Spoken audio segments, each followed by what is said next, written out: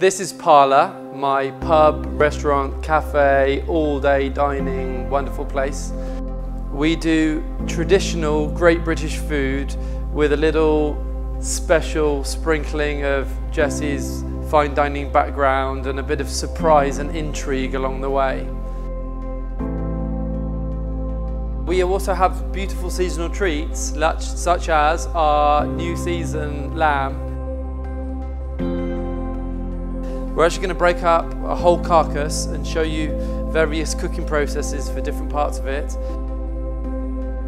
I'm going to make for you a pink rolled saddle of lamb, which is the sirloin or rack or loin of lamb with a bit of the belly attached and the fillets rolled inside. Roasted, nice and pink and delicious. We're going to have a slow cooked shoulder of lamb so we've got a bit of seasonal, summery, green and yellow courgettes.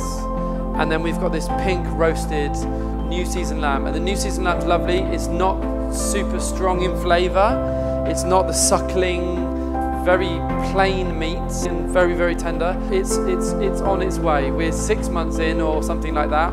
I think when you're eating this, try to have a little bit of everything because the slow cooked meat is so different from the roasted pink saddle and it's just really good to have a bit of zing of the lemon puree and some fresh vegetables as well. Uh, you know, take it as a whole, okay? And don't just get sidetracked about the things that you think look attractive. This dish can be very easy to make and it can be a bit more complicated. The show, slow cooked shoulder of lamb is super easy to make. You put it in a pan with some water and vegetables and you just leave it to do its thing. And you know when it's done because you can just kind of pull it apart. The saddle is complicated to bone out and roll.